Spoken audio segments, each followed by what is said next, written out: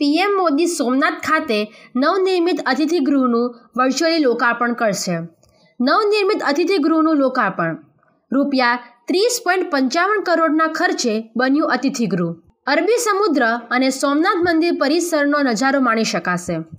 પ્રધાનમંત્રી નરેન્દ્ર મોદી ભારત વર્ષના આસ્થા કેન્દ્ર ભગવાન સોમનાથ મહાદેવના સાનિધ્યમાં આ અરબી સમુદ્રના કિનારે રૂપિયા ત્રીસ પોઈન્ટ પંચાવન કરોડના ખર્ચે નવનિર્મિત અતિથિગૃહનો વર્ચ્યુઅલી પ્રારંભ કરાવશે.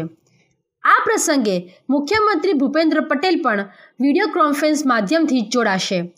આ ઉપરાંત સોમનાથ ખાતે રાજ્ય સરકારના માર્ગ અને મકાન તથા પ્રવાસન અને યાત્રાધામ વિકાસ મંત્રી પુણેશ મોદીની ઉપસ્થિતિમાં આ ઉદ્ઘાટન સમારોહ યોજાશે.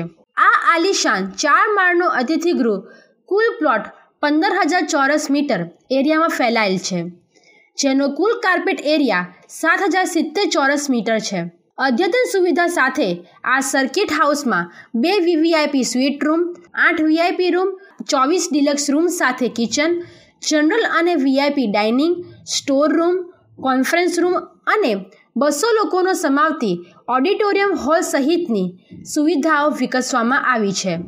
ઉલ્લેખનીય છે કે આ સર્કિટ હાઉસ ખાતેની અરબી સમુદ્ર અને સોમનાથ મંદિર પરિસરનો નજારો માણી શકાશે.